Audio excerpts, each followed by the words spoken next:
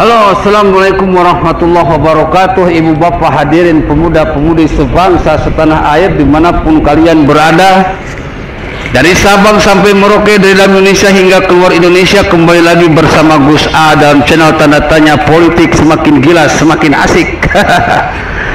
Hari ini saya ada di kolam retensi Di daerah Dayakolot Bro. Kelurahan Andir ini daerah banjir sekarang dibuatkan kolam retensi. Ini proyek Ridwan Kamil coy.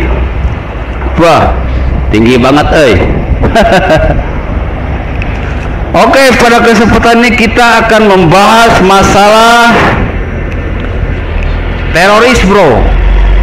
Teroris yang semakin hari semakin membahayakan, semakin hari semakin mencekam, semakin hari semakin eksis di Indonesia. Sudah tidak punya rasa malu sudah tidak punya rasa serem sudah tidak punya rasa takut.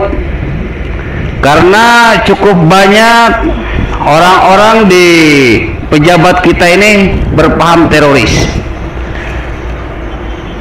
Jadi pikir mereka Indonesia ini untuk menjadi teroris tinggal nunggu waktu saja coy. Tinggal nunggu waktu bro. Kalau sudah tinggal nunggu waktu ya kita saat ini dalam kondisi bencana. Bencana bro.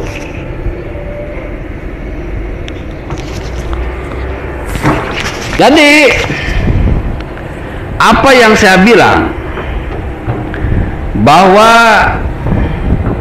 khilafah ini semenjak kemunculan Rizik Sihab dan kawan-kawan sudah berkolaborasi dengan oposisi. Oposisi rasa teroris teroris rasa oposisi bukan suatu hal yang hoax tapi kini sudah menjadi kenyataan yang tidak bisa dibantah. Coba perhatikan video barusan. Ada sebuah universitas di Indonesia yang mungkin didirikan oleh kadrun. Berpakaian wisuda tidak wajar coy. Berpakaian wisuda ala Arab. Hampir semua wisudawatinya memakai cadar. Burukah? Saya senyum-senyum saja coy. Karena ini bisa dijadikan bukti kepada pemerintah bahwa Menhan Prabowo sudah gagal dalam menciptakan keamanan yang ada di Indonesia. Menhan Pak Prabowo tidak becus kerjalah mengamankan NKRI daripada dari para teroris yang memang sekarang sudah semakin bengis, semakin eksis. Ya, apa boleh buat coy? Demi menyelamatkan Indonesia panglima tertinggi Angkatan Darat, Panglima tertinggi Angkatan Laut, Panglima tertinggi Angkatan Udara, panglima kepolisian bahkan panglima perang yaitu Joko Widodo harus bertindak cepat dengan mengganti menteri pertahanan dengan yang lebih berwibawa sehingga para teroris ini takut bro. Bukan malah berani. Kalau Menhan Prabowo ini teroris ini malah tambah berani malah tambah subur. Malah tambah makmur. Seperti dipupuk muncul di mana-mana dari Sabang sampai Merauke. Wedan men. Wedan. Saya kira masih banyak orang yang pantas menduduki Menhan.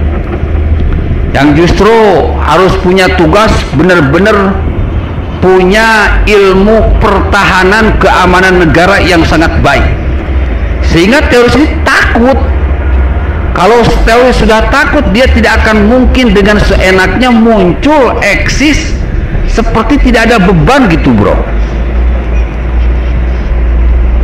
Ketika menhannya sudah diganti dengan yang punya wibawa yang punya eh, apa ilmu pertahanan yang sangat baik maka dengan cepat dengan pilihan dengan otomatis dengan normal dia akan menertibkan sekolah-sekolah SMP, SD, SMA, PAUD, perkuliahan yang memang berafiliasi dengan teroris yang memang dijadikan tempat untuk membentuk the cell of teroris yang selama ini tidak dilakukan oleh Prabowo coy. Para teroris ini didiamkan dengan luasa sekolah-sekolah tempat berdirinya teroris ini pun dibiarkan seperti biasa. Ya udah bro. Itu namanya apa bedanya Prabowo ini dengan mendukung teroris? Wong para teroris eksisnya semakin nyata semakin berani, semakin tak punya malu. Bahkan sampai menganggap bahwa Indonesia ini sudah menjadi negara mereka. Nauzubillah, summa nauzubillah. Oke, gitu saja saya minta kepada Pak Presiden untuk segera mengganti Menteri Pertahanan Keamanan dengan yang benar-benar ditakuti oleh para teroris sehingga teoris ini bisa dihancurkan dengan tanpa ampun dari bawah hingga ke atas. Billahi taufiq wal hidayah. Wassalamualaikum warahmatullahi wabarakatuh